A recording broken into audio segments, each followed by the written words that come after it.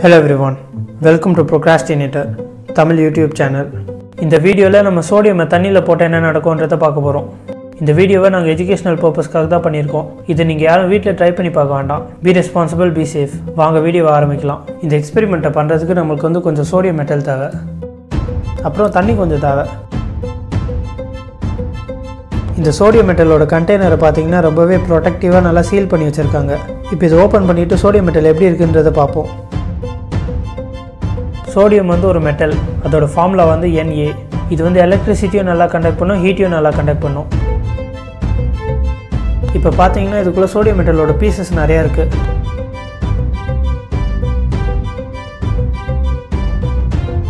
இப்போ இதுலேருந்து ஒரு பீஸை வெளியில் எடுத்து பார்க்கலாம்.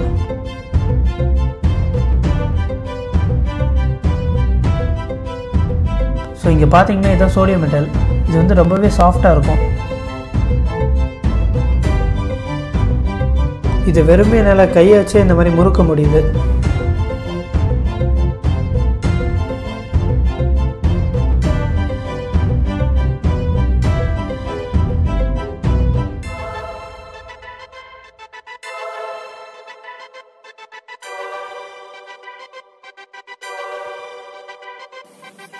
சோடியம் மெட்டலை நீங்கள் கான்க்ரீட்டில் இந்த மாதிரி போட்டிங்கன்னா அதோட சத்தத்தை நம்மளால் கேட்க முடியும். இது வந்து ஒரு சாஃப்டான மெட்டல்ன்றதுக்காக இது ஒன்றும் பஞ்சு மாதிரி இருக்காது. கிட்டத்தட்ட ஒரு எரேசரோட ஸ்ட்ரென்த் இதுக்கு இருக்குது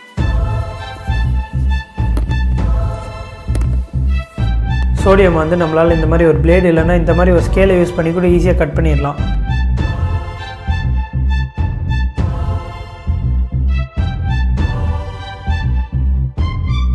இது வந்து பார்க்குறதுக்கு நல்லா பளபளன்னு இருக்குது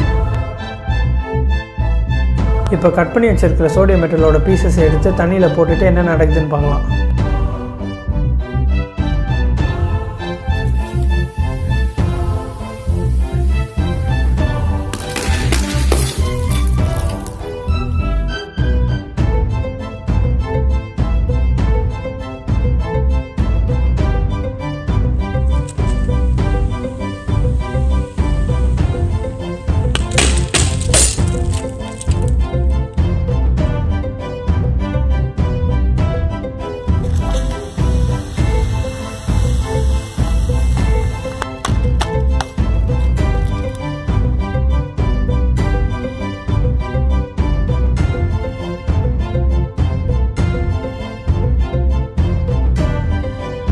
பார்த்ததில் உங்களுக்கே தெரிஞ்சுக்கும் இது வந்து பட்டு பட்டுன்னு வெடிச்சிருச்சு.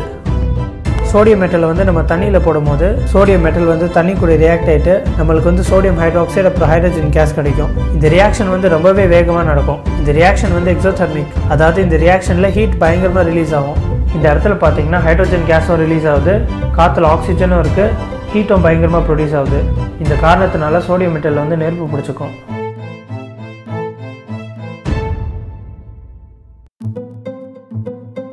இப்போ அடுத்ததாக முழுசாக ஒரு சோடியம் மெட்டலோட பீஸ் எடுத்து அதை தண்ணியில் போட்டுட்டு என்ன நடக்குதுன்னு பார்க்கலாம்.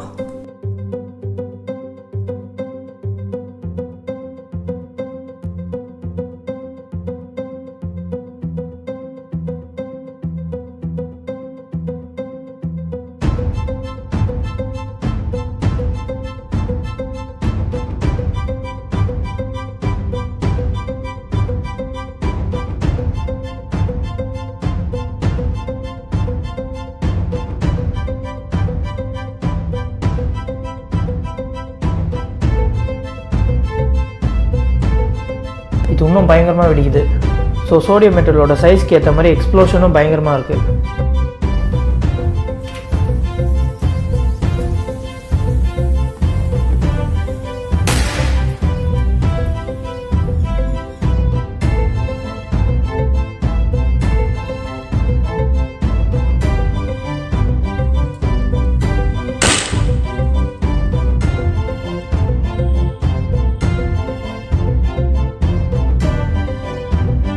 ஒரு சில மெட்டல் மட்டும்தான் தண்ணியில் மிதக்கும். அதில் சோடியமும் ஒன்று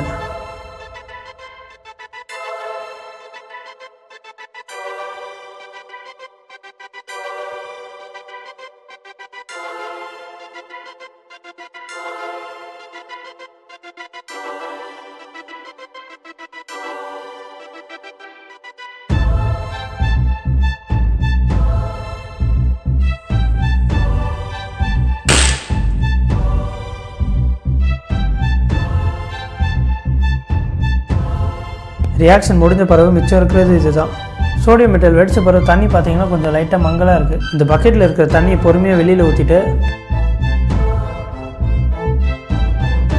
பக்கெட்டுக்குள்ள அடியில் பார்த்தீங்கன்னா இந்த மாதிரி வெள்ளை கலரில் தண்ணி இருக்குது சோடியம் மெட்டல் வெடிக்கும் போது ஹைட்ரஜன் கேஸ் வந்து காற்றுல கலந்துருக்கும். இங்கே தண்ணியில் வந்து வெள்ளை கலரில் இருக்கிறது தான் சோடியம் ஹைட்ராக்சைடு ஸோ இன்றைக்கி வீடியோவில் சோடியம் மெட்டலை பற்றி பார்த்துருக்கோம். அப்புறம் சோடியம் எப்படி தண்ணி கூட ரியாக்ட் பண்ணுதுன்றதை பார்த்துருக்கோம். இன்றைக்கி வீடியோவில் அவ்வளோதான் அப்புறம் இன்னொரு முக்கியமான விஷயம் எல்லாருக்கும் இனிய புத்தாண்டு நல்வாழ்த்துக்கள். ஹாப்பி நியூ இயர் இந்த வருஷம் எல்லாரும் மாஸ் பண்ணுறோம் all the best for twenty nineteen அடுத்த வீடியோவில் பார்ப்போம். பாய்